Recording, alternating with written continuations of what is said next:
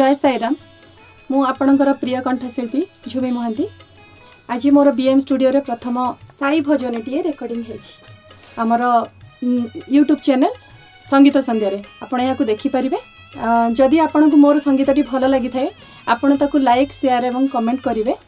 ନିଶ୍ଚୟ ଲାଇକ୍ କରିବେ ବୋଲି ଚ୍ୟାନେଲ୍କୁ ସବସ୍କ୍ରାଇବ୍ କରିବେ ବୋଲି ମୋର ଆଶା